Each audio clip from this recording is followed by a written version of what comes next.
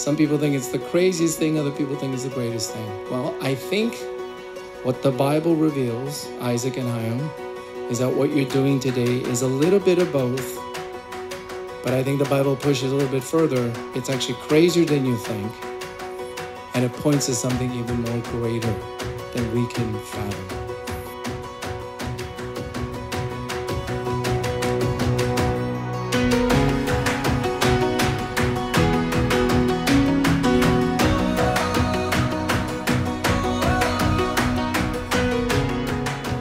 I love you not only because you're beautiful, or because you play PS4 and board games with me, or because your spontaneous singing and dancing makes me laugh, but because you remind me that our relationship is rooted in Christ and that we are called to point each other towards Him.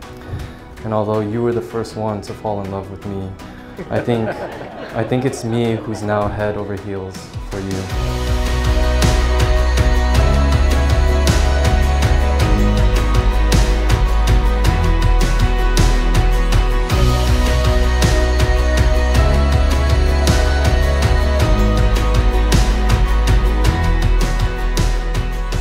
Excited that I get to finally marry my best friend today.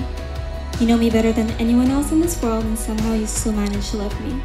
So thankful that God sent me exactly someone that I need and want, someone who will continue to sanctify me to be more like Christ. God has blessed me with the love of my life and I'm so lucky to have you. I'm delighted to start this new journey together as one in Christ. And I love you so much and will continue to love you until death do us apart.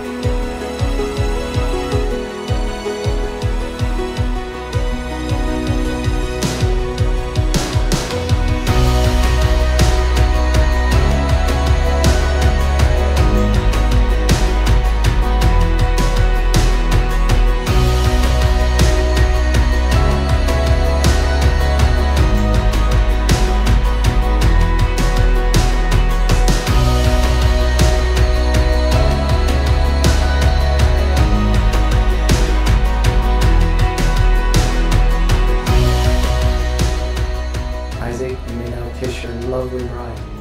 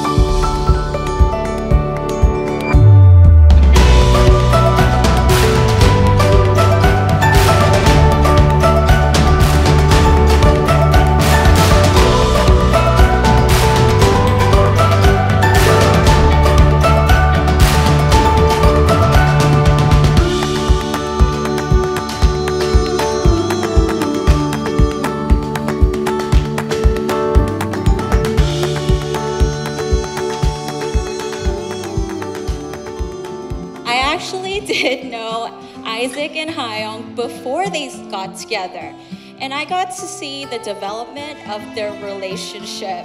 And for me, the best part of Korean dramas or rom coms is seeing people fall in love, and I got to see Hayong fall in love. I specifically remember one event where the uh, Ultimate Frisbee group went to a LA Galaxy game and you guys met up in the church parking lot. And Hayong was just talking to the group and you were looking at her, but I was looking at you look at her. And your eyes were so warm and so soft, like sundubu.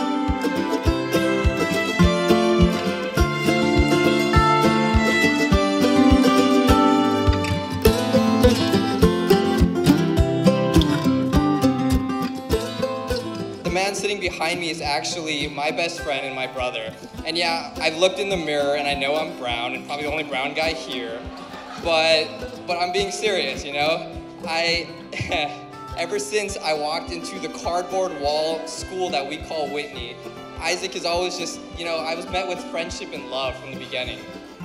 You know, he was just always there for me. We'd play FIFA all the time, and guess what? He let us beat India, and India sucks at soccer. You know, like, that's how great of a guy he is.